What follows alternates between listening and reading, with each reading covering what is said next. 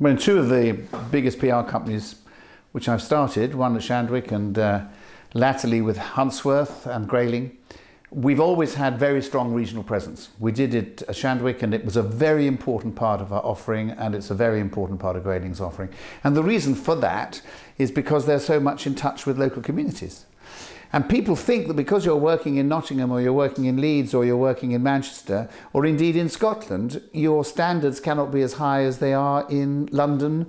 And that is absolute arrant nonsense. Very often the skills are greater because you have to go across all the, uh, the methods of communication in public relations and not just concentrate on one, which makes you a skilled generalist. And I think that's a unique and very special advantage in the modern world. The most important reason I'm getting involved is because it promotes the excellence about which I feel so strongly outside London.